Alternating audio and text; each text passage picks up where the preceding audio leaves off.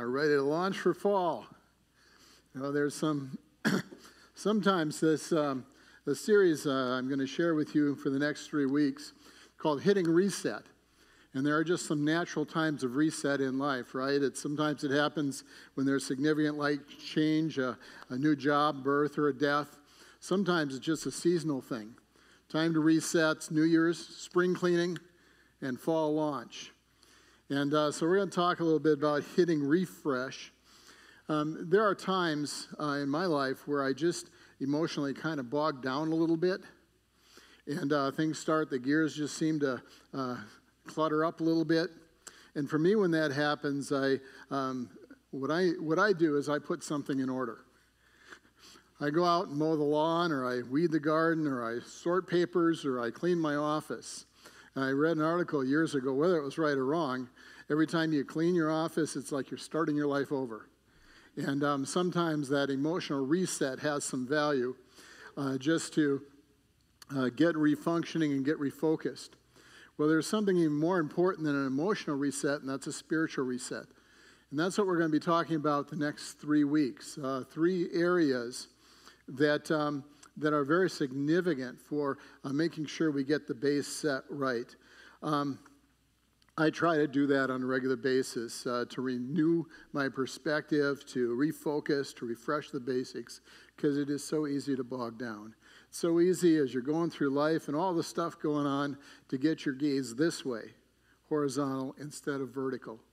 And uh, for us to live out the life God intends, in the fullness of joy and the abundance of life, it is a vertical gaze that we need to maintain. So uh, instead of losing freshness and power in our spiritual relationship, a goal to refocus and uh, renew and regain that if any is eroded.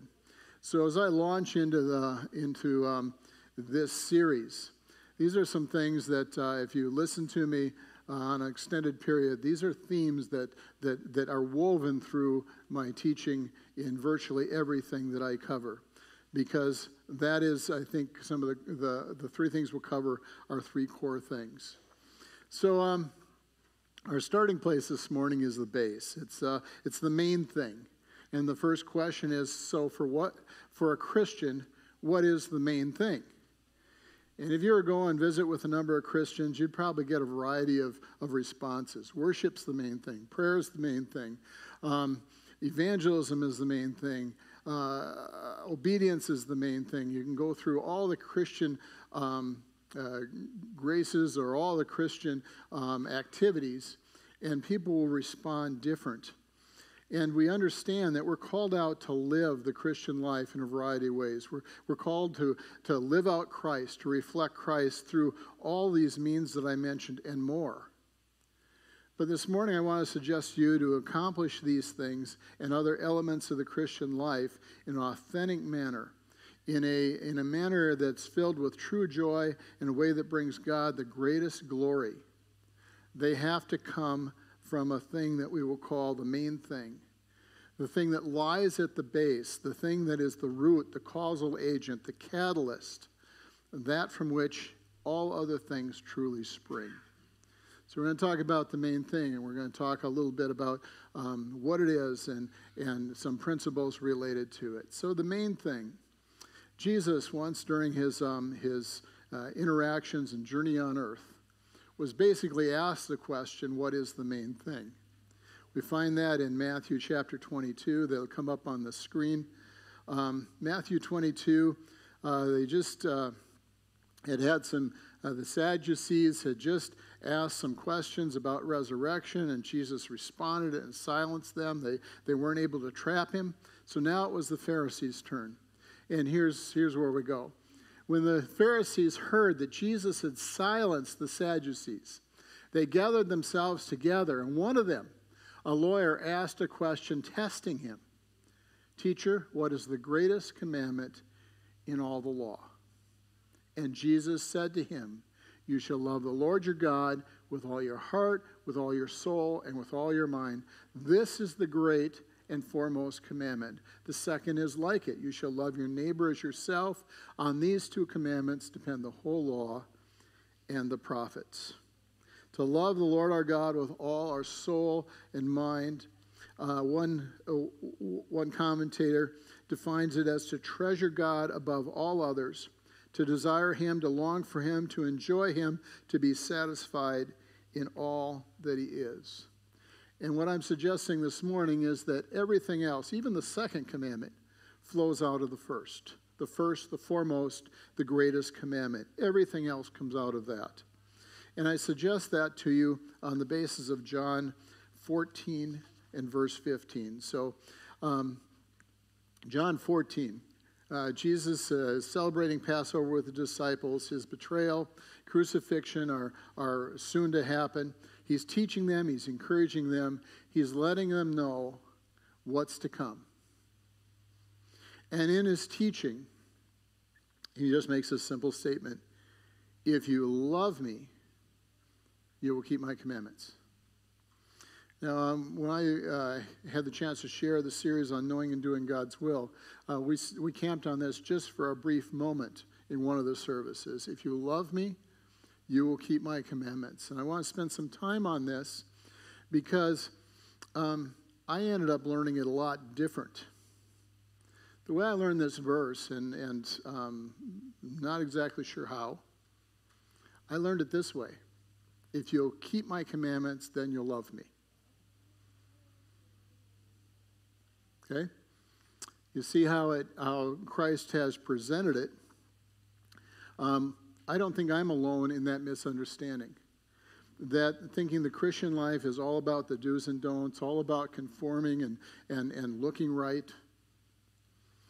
And that's what happens when you reverse this. And you know what I found out is that by keeping his commandments, I really didn't develop a love for him.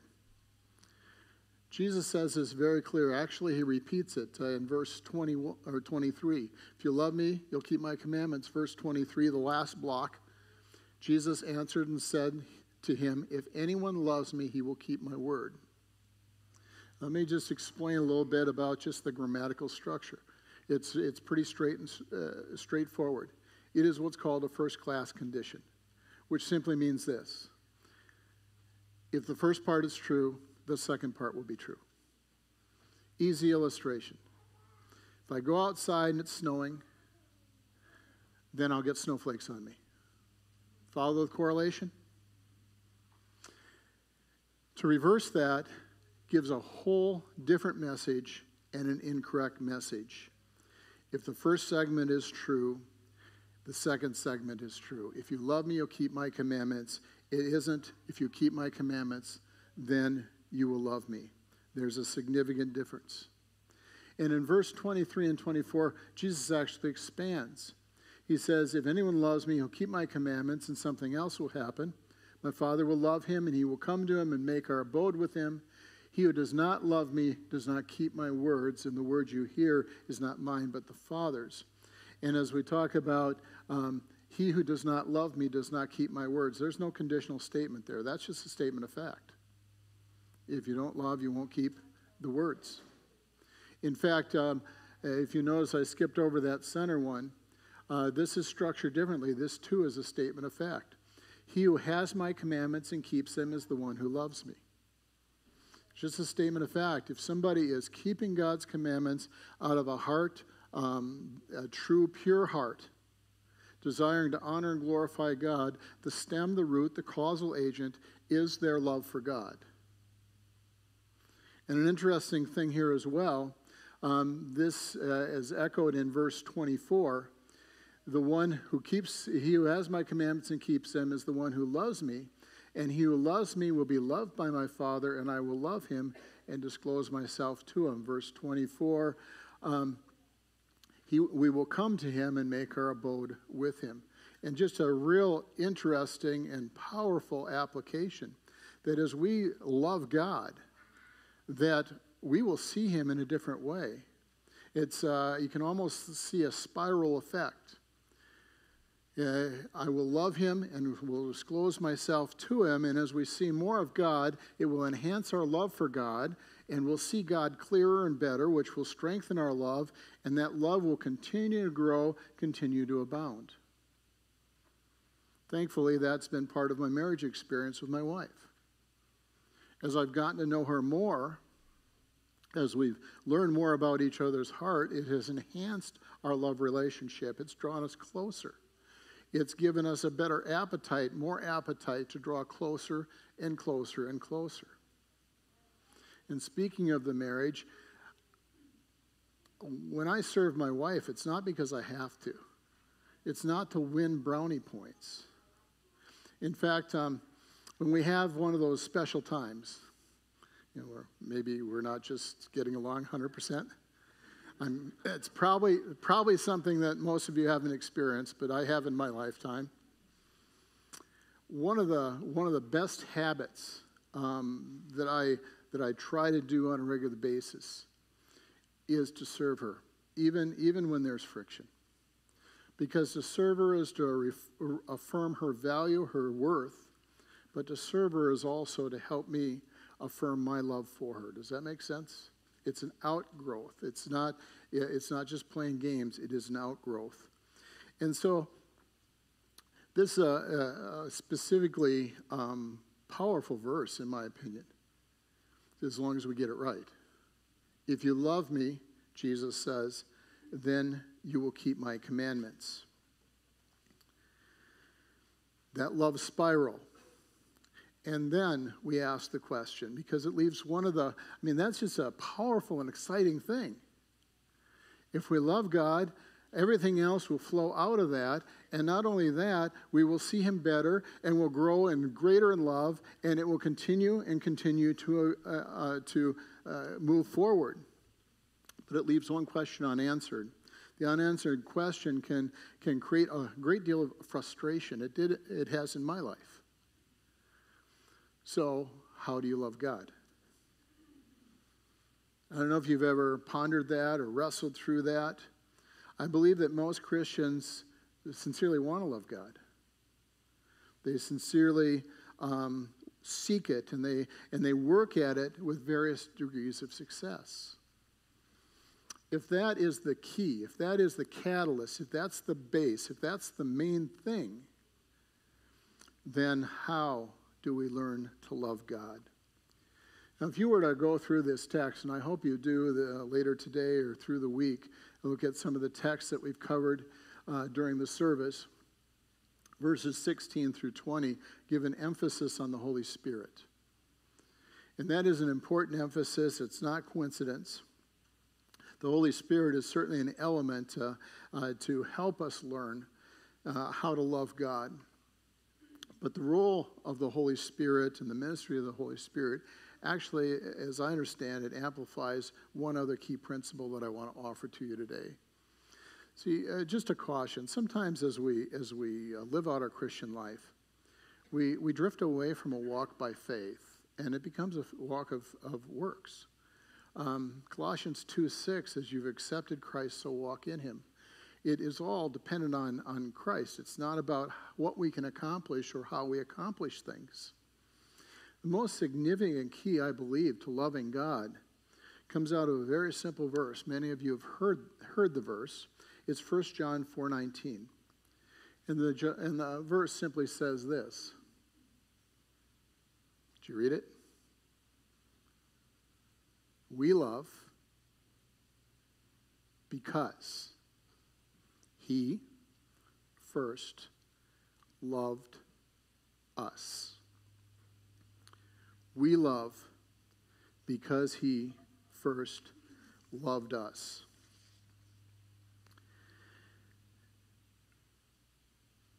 We struggle sometimes in learning how to love God, and sometimes we don't realize that the first significant step is to know, understand, and be confident in God's love for us. I would suggest from this text a couple things. One, our ability to love God and, and others for that matter is fully released when we understand and uh, understand God's love and stand confident in it. Second, that we will struggle to fully love God or to fully love others if we're not confident of God's love for us. I really think that's the basis of Paul's prayer in Ephesians chapter 3 as, he, as he's praying for the uh, Christians at Ephesus. And here are just the main thoughts. For this reason, I bow my knees before the Father, he writes. And then he says two things that, that God would allow the believers to be strengthened in their inner being, and second, that they might be able to comprehend what is the breadth, the length, the height, the depth of God's of Christ's love, and to know the love of Christ which surpasses all understanding. Because I think Paul understood that was the key.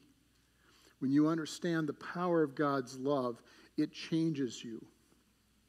Believe that that's why Jesus, as he, um, as he spoke to the church at Ephesus in, in Revelation chapter 2, he commends them for a number of very positive things. And then he says this I have this against you, that you have left your first love.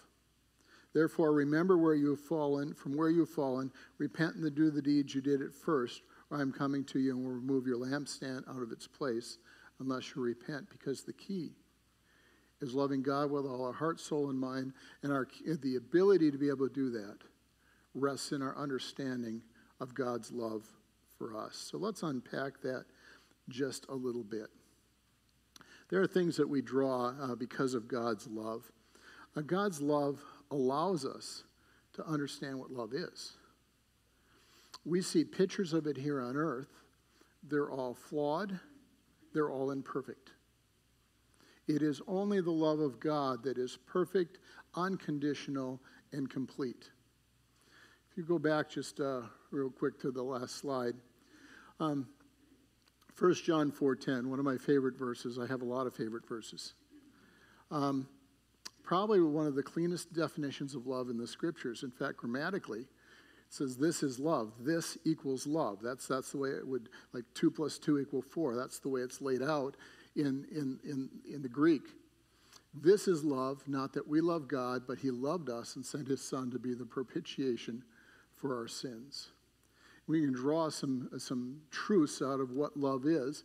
It takes the initiative. It's not that we love God. He reached out to us. Second, He invested sacrificially in sending His Son to die on the cross and to meet the, be the propitiation for our sins, to meet the legitimate need that we have, that to breach that or, or span that gulf between us and, and God. God's love, as we understand God's love, we understand what love is. Romans 8, one of many texts, while we were yet sinners, Christ died for us. It wasn't because of our merit. It was because God chose to take the initiative and place that love upon us. Romans chapter 8, 28 through 39, if you want to jot that down, worth reading. Uh, talks about God's unrelenting, unconditional, everlasting love for his children. That will be a different study at a different time. But let's continue. God's love, it, te- it uh, by understanding God's love, we understand what love really is. But second, if we understand God's love, it's God's love that gives us the capacity. Now you can head over to the next slide. Gives us the capacity to actually love. One of the truths of the scripture, one of the truths, one of the realities of the universe is that we are broken people. And separated from God, we do not have the capacity to love as God loves. We, we don't have that, that ability. When God calls us into his kingdom and we, we become one of his children, it creates a capacity, a new capacity in us. And that capacity is to be able to love in a fuller, more complete sense, a, a sense that is more reflective of God's love to us. It's a new capacity. That's why it's important to understand what God's love is and the power of God's love. It gives us the ability to love. But third, and this is where I want to spend a little bit of time, God's love frees us. It frees us because it gives us the capacity, it gives us the security in life, and gives us the confidence to love others. Let me just take you on a quick journey here. Maybe it's not your journey, but uh, most Christians struggle with this from time to time. It's this question How long will God continue to love me? I don't know if that's ever rolled through your thinking. Oh, I blew it again. I'm going to be over the limit someday. God can't keep loving me. It's not a matter if he'll give up, it's a matter of when he'll give up. Most Christians wrestle with that. Satan works overtime seeking to haunt the believer with lies of that type.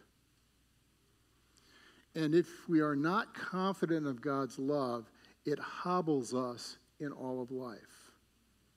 It also hobbles us in our ability to love God. In fact, um, you're going through the verses and the texts on your own this week, read through 1 John 4 because 1 John 4:18 just before we love because he first loved us there is no fear in love. Perfect love casts out fear because fear involves judgment and the one who fears is not perfected in love. When we understand are perfected in and have confidence in God's love it just chases the fears away because we understand that it's real it's powerful it's unconditional and it's everlasting Confidence in God's love for us also removes our need to be something we're not. Removes the fear, the reservation from loving others, removes the temptation to manipulate and control to try to get people to love us. It provides stability in our life and ministry, and it allows us to meet life with solid footing because we know we have value and we know the Almighty ruler of the universe is absolutely committed to us and on our side. Does that make sense? Years ago, I heard a speaker, it was just kind of caught the uh, audience off guard when he, a big, huge guy, marriage is like a boxing match. what? And then he went on to say, when my wife is in my corner, there to support me, I can do anything. Let me tell you that that has truth. But the greater truth is when God's in our corner, we can stand fearless to life and we are willing to do anything and we are able to love and reflect his love because of that confidence. Are you tracking me there? Love the Lord your God, all your heart and soul and mind. Everything else flows out of that. Everything else. Just a quick tangent, a side note. It's a freebie. No extra charge this morning. So I've met with couples that have been um, in high stress. One thing that I've learned that is, is true of the vast majority of them that relationships don't end because I have quit loving my wife, but relationships end when I think my wife has quit loving me. Are you hearing that? Because that lights up in me insecurities and reactive behavior. That's where we get back to marriage is like a boxing match. That's where we get back to the core of the base, the causal agent that God loves us and we love because he first loved us. It's an old saying, German in origin, I believe and that is that the main thing is to keep the main thing the main thing. and so this morning, one of the things that I want to make sure that, that I emphasize, and one of the things that I would consider a failure of the Christian church, is a failure to encourage people to keep the main thing the main thing. And the main thing, according to the words of Jesus, is to love the Lord your God with all your heart, soul, and mind. Second place where I think teaching often falls short is the failure to help people understand how to develop or increase their ability to love God effectively and from the heart rather than just going through motions. And I can tell you that as best I can understand from the scriptures, it boils down to that simple verse We love because he first loved us. It's not obedience, it's not outreach, it's not all these positive actions we could be doing. It is understanding and trusting God's love for us. There certainly are hygiene elements that are important, like in every relationship, right? Communion versus complacency, spending time with the person versus just, yeah, they're just here. Um, making sure that we um, maintain commitment over competition. Scriptures talk a lot about that and a love for God to be focused on Him and not on other things. We're not trying to use Him to get other things. But the lost foundation is that security and confidence in God's love for us. So, as I finish up this morning, I just want to remind you God is still present, He is still faithful, He is still inviting each of us to a closer relationship with Him. He's inviting us to learn more and more about Himself, which puts us on that growth spiral of seeing Him in a fuller sense and then result a greater love for Him. And the challenge would be to step into that invitation. And I've given, put some very specific questions up just for you to take home. Question number one is the base of God's love active in your life? And here's what I mean by that. Uh, some people, uh, maybe you're a guest here, maybe you just come into the church to say, What is this all about? Maybe you've been here for 20 years and have never made that transaction where God's love has become an active principle in your life because you've surrendered your life to the Lord Jesus Christ. Understanding that your sin has created a wall between you and God and the fellowship that He intends, and that Jesus died to pay the penalty for that sin and to release us into the freedom of a positive relationship with, with the Father. If that's a message that you've never heard, or if that's a message you've heard and it's never clicked, or you've never chosen to respond, that's a first step. Because it's hard to be confident in God's love when you haven't uh, surrendered to the love. Second thing is do you have unwavering confidence in God's love for you? That's kind of a, uh, a trick question in a sense. It's, it's, it sometimes relates to circumstances, though it shouldn't. I use a material and it, it, it encourages people to put their, put, uh, mark themselves on a scale between 0 and 10. Zero would be I have no confidence in God's love for me, and 10 would be I have absolute confidence in God's love for me. And most Christians, if they're honest, they will probably be in the 6 to 8 range. And I want to tell you that you can be in the 10 range part of um, that, developing that unwavering con, uh, confidence in God's love is to spend time in God's Word, reading about His love, to spend time in His presence, to spend time in the presence of others, of somebody else that you know loves God and reflects that. God wants all of us on the 10 because that is the base. That is, that's the point from where we launch all the other things we've talked about this morning. And third, if that love is, is true and if it's there, it will bubble out in all kinds of things. And the question is, how is God calling you to live out that confidence in your life and service? Because if it's there, it can't help but to escape. It can't help but to break out and, um, and shine for others. If you love me, you'll keep my commandments. If you love me, you will go out and you will change the world for the kingdom. That's my interpretation.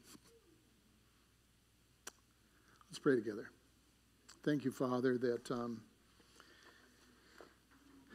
that you give us the great commandment for our benefit, that we might be free, that um, you might be able to fully live through us. Father, challenge us with these truths, um, disrupt us. Uh, make us uncomfortable, that we might see those areas where uh, we need to grow in our understanding and confidence in your love, and grow in those areas where we need to um, live out that love on a day to day basis. Thank you again in Jesus' name. Amen. Pastor Mark has come up and lead us into communion. Mark?